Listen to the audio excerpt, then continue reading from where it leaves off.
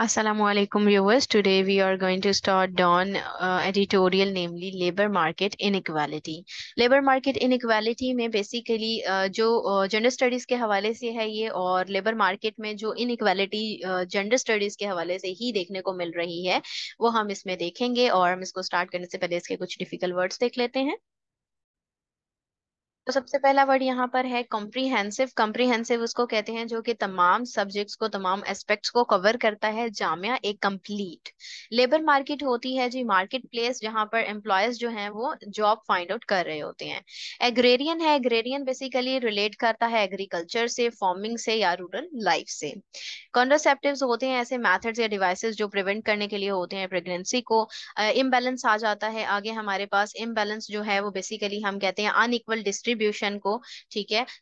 गैर मुनासिब जो तकसीम होती है। जेंडर पैरिटी जेंडर पैरिटी यानी कि जेंडर इक्वेलिटी की बात हो रही है यहाँ पर, ठीक है इक्वल अपॉर्चुनिटीज़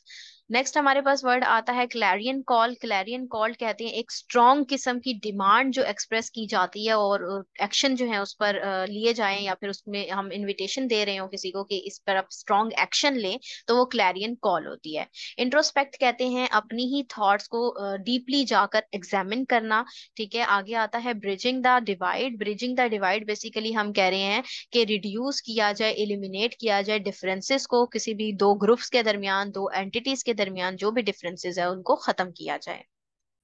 तो ये थे हमने इसके देख लिए डिफ़िकल्ट वर्ड्स और अब हम इसको स्टार्ट करते हैं। The 2023 Nobel prize in economics has been awarded to American Claudia Goldin for her outstanding achievements in the study of gender differences in the labour market over the centuries के 2023 की Nobel prize जो economics में मिला American Claudia golden को उनके outstanding achievement के ऊपर जो उन्होंने स्टडी किया है जेंडर डिफरेंसेस पर लेबर uh, मार्केट के अंदर over a centuries her work provides the first comprehensive account for women's earning and labour market participation उन्होंने एक कॉम्प्रीहेंसिव जो है वो अकाउंट uh, प्रेजेंट किया है। यहाँ पर इसको स्टडी किया है वुमेन की अर्निंग को और लेबर मार्केट में उनकी पार्टिसिपेशन कितनी है उसको देखा है। She collected 200 years worth of data from the US to understand how and why the gender pay and employment gap exist उन्होंने 200 uh, साल का जो है वो डाटा कलेक्ट किया है और अंडरस्टैंड किया किस तरह से क्यों और कैसे जो है जेंडर पे और एम्प्लॉयमेंट गैप जो है वो एग्जिस्ट करते हैं इस दुनिया के अंदर। अंदर। हिस्टोरिकली तारीखी तौर पर work participation can be viewed as a U shaped curve historically अगर देखें तो वुमेन की जो वर्क पार्टिसिपेशन है यू शेप कर्व के तौर पर दिखा जा सकता है। With their contribution taking a dip when the US transition from from an agrarian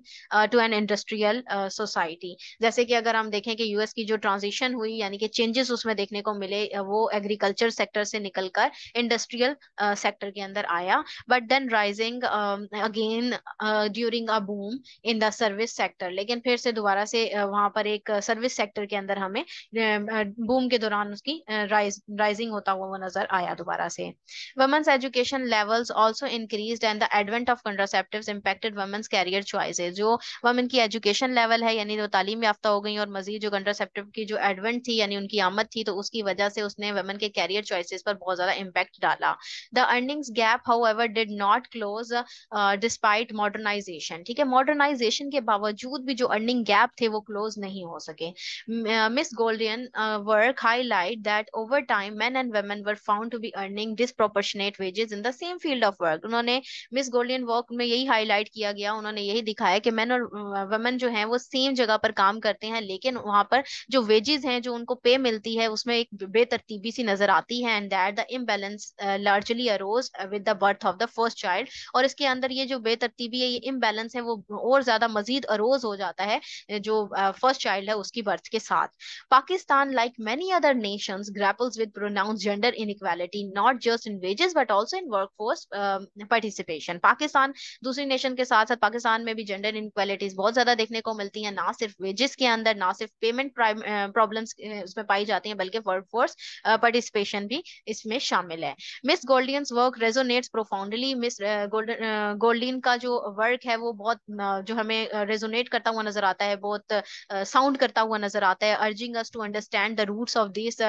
discrepancies to chart a more inclusive path forward और हमें अर्ज़ करता है, उकसाता है कि हम अंडरस्टैंड करें कि रूट कॉजेज क्या हैं, इन इनइक्वालिटीज के, ठीक है, और हमें किस तरीके से आगे मूव फॉरवर्ड करना है। The need for flexible working environment tailor to accommodate the unique challenges faced by women is more pressing than ever तो ये जो फ्लेक्सिबल वर्किंग एनवायरमेंट है, उसकी ज़रूरत है अकोमोडेट करने की ज़रूरत है, इन चैलेंजेस से निपटने की ज़रूरत है, जो कि औरतें खातन जो है वो फेस कर रही हैं, जो कि अब और मजीद जो है वो प्रेसिंग है।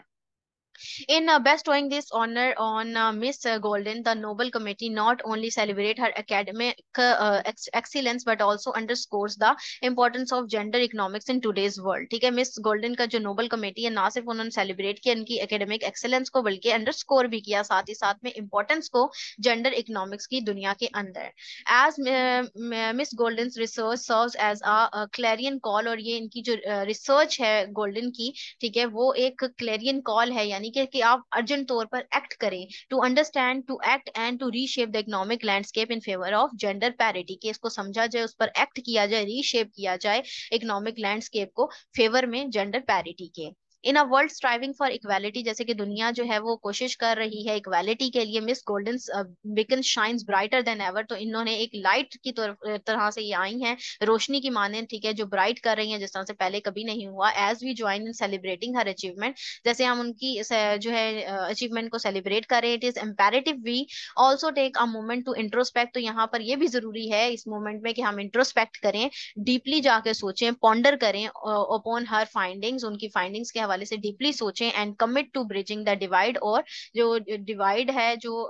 गैप्स हैं, ठीक है, उनको हम ब्रिज करें, ठीक है, उन गैप्स को खत्म करें और इस डिस्पैरिटी को खत्म करके जेंडर इक्वेलिटी को परवान चढ़ाएँ। ठीक है जी जेंडर स्टडीज़ के हवाले से, उसके अलावा एस के पॉइंट ऑफ़ व्यू से ये बहुत ज़्यादा इंपॉर्टेंट है, ठीक है, और ये था इसका एनालिसिस अगर आप लोगों को ये पसंद आया है तो काइंडली इसको लाइक कीजिएगा शेयर कीजिएगा। थैंक यू वेरी मच अल्लाह हाफिज।